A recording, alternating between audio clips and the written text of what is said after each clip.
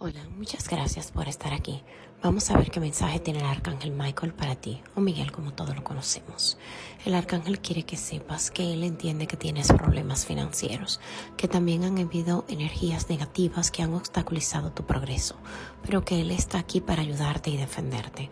Las puertas del valor van a empezar a abrirse para ti, para que encuentres un balance en tu vida.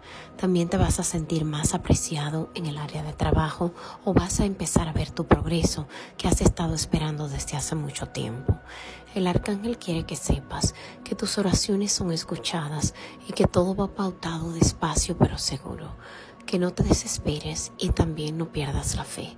Estamos viviendo tiempos muy difíciles, pero la ayuda viene para que tú puedas salir adelante y tengas movimiento. Prepárate para hacer un viaje corto, también para algún tipo de entrevista o reunión. Veo que vas a salir de un estancamiento, tristeza y sentimiento de rechazo. Te veo con más energía y también con entusiasmo. Hay una persona que va a darte la mano o alguien te va a dar una oportunidad. Es como una puerta que estabas esperando que se abriera. Tú tenías el corazón roto, mucho sufrimiento y sentía que toda tu familia o te miraba de cierta forma o tú te sentías presionado con la situación en la que estás.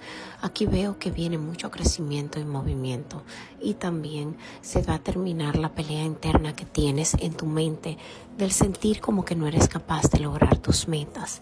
El arcángel quiere que sepas que él entiende tu sufrimiento. Algunos de ustedes perdieron un ser querido y después de eso todo se empezó a desboronar.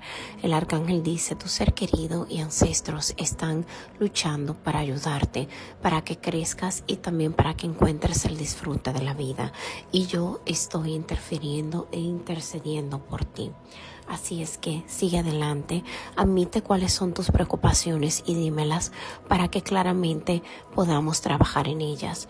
También veo que te voy a enviar personas de confianza, personas en las que puedas abrirte, personas que puedan darte la mano. En el pasado tú pensaste que alguien te iba a dar la mano y te dio la espalda. Esta vez será diferente. También voy a ayudarte a curar tu corazón, pero tienes que empezar a avanzar sin ningún tipo de temor y comenzar a dar pasos firmes hacia triunfo. Recordar que el triunfo no es lo que ves en otros, sino lo que puedes alcanzar tú. Recordar que el triunfo no son cosas increíbles que miras que otras personas tienen en el área material. Triunfo es salir de dolor, pena, tristeza y estancamiento. Sentirte positivo y creciendo. Sentir que puedes disfrutar la vida sin tanto percance y sentir que puedes dormir por las noches. Y eso voy a proporcionar para ti.